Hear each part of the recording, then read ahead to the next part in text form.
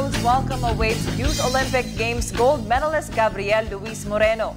Gabriel is set to arrive in Manila tomorrow, August 29, from his successful stint in the Youth Olympic Games held in Nanjing, China. Let's have more on Gabriel's feat from Sweeden, Velado.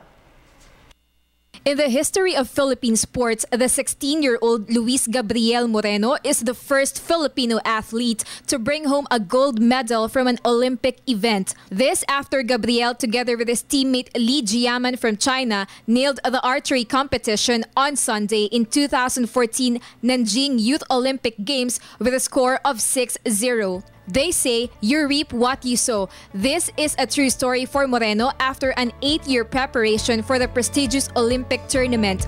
It was an eight-year plan for Gab to, to, be in the, to be included in this YOG. So in the span of eight years, they planned for the training, they planned for the for the international exposure in which games to to to compete, ganon. In an exclusive interview, the archery champ shared how he prepared for the Olympic competition. Prepared for the competition for about, I trained for about five, uh, four to five times a week after school days and weekends. Gabriel started joining inter-school, regional, and national competitions in 2006 that allowed him to master and sharpen his skills in archery. During the interview, Moreno also shared some tips to young athletes like him who aspire to succeed in their chosen sport.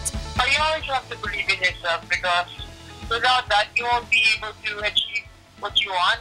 In the end, the Olympic gold medalist warmly expressed his gratitude to his supporters who never stopped believing in and praying for him. Uh, I would like to thank the people who supported me. I, uh, I'd like to thank for I like to thank them for praying and supporting me all the way to reach my goal. Luis Gabriel Moreno, together with his family and other members of the Philippine team, are set to fly back to the Philippines on August 29. For People's Television, this is Sweden Velado.